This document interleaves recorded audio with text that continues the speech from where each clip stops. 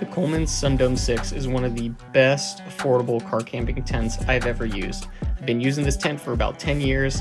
It's seen harsh wind in the desert up to 40 miles an hour, really long rain squalls out there, and it's held up just fine.